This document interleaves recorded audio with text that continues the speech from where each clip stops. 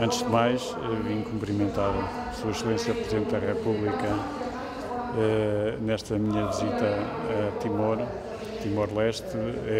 Foi muito importante ter esta oportunidade para falar com o Sr. Presidente, trocamos opiniões, ideias para melhorar a cooperação de Portugal, em particular das Forças Armadas e da Marinha Portuguesa, com as Forças Armadas de Defesa de Timor-Leste.